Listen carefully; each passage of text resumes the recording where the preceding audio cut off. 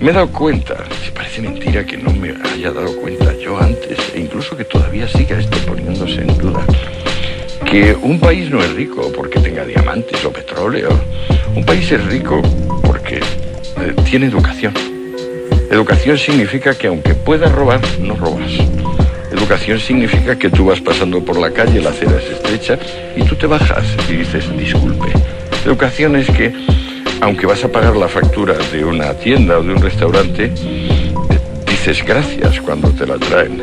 Das propina y cuando te devuelven, lo último que te devuelvan, vuelves a decir gracias. Cuando un pueblo tiene eso, cuando un pueblo tiene educación, un pueblo rico. O sea, en definitiva, la riqueza es conocimiento. Y sobre todo un conocimiento que le permite el respeto ilimitado por los demás. Si tú te metes en gran parte del mundo en un vagón de metro, un autobús apretado, es muy raro que cada uno de los que te vaya apretando vaya diciendo, como sucedería en Suiza hoy en día en España, perdone, disculpe, perdone. Donde no se produce eso, el pueblo es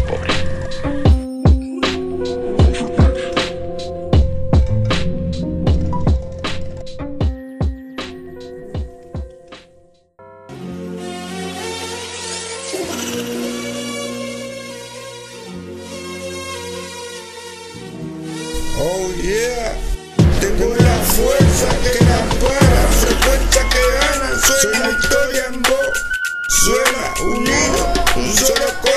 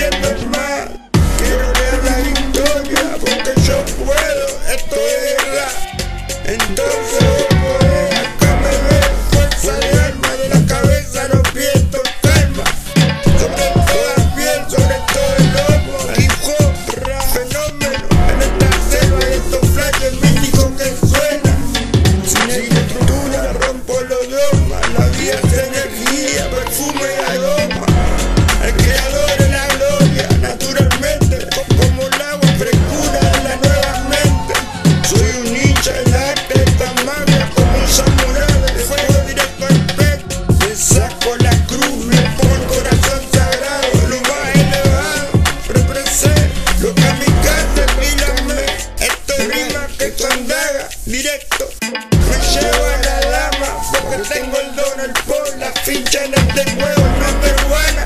El fucking juego aclama la fama, soy el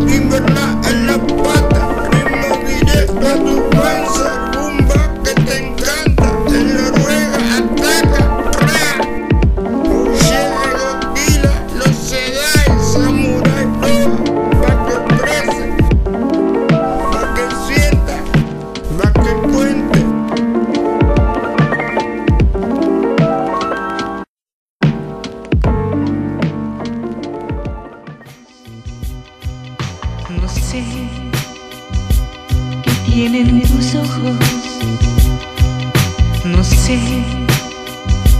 que tienen tus ojos, no sé que tienen tus ojos, no sé que tienen tus ojos, no sé que tienen tus ojos, no sé que tienen tus ojos sé que tienen tus ojos, no sé que tienen tus ojos, no sé. The. Oh yeah, oh yeah, en Noruega, representa.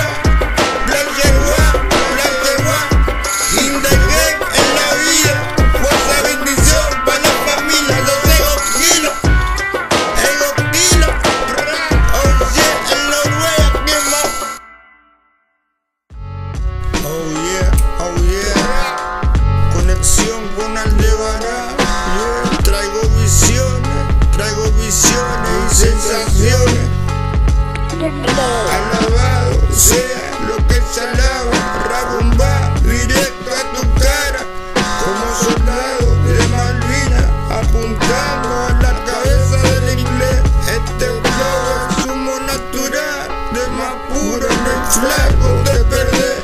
Fuego para prender esta bomba. Juego en estos minas, estos futurama. Tengo la llave de Roma. Yo soy la calma, flash que vuelan como cine. Dios existe, relajación, meditación con raya volando.